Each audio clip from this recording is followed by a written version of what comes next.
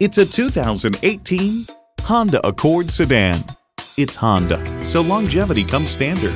It comes with all the amenities you need.